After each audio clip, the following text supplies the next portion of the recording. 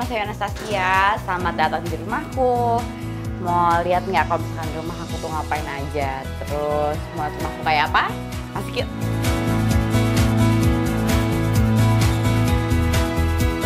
Ini dia rumahnya. Maaf ya kosong. Rumahnya emang settingannya kosong gini. Ini kebanyakan barang-barang anakku di sini.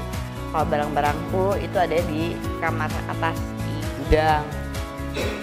Ini biasanya ini uh, favorit spot aku tuh di sini kalau misalkan malam karena kan aku orangnya nggak bisa kena panas. Jadi biasanya kalau misalkan siang itu aku lebih kayak di meja makan, kalau nggak misalkan di kamar, lebih yang kayak gitu.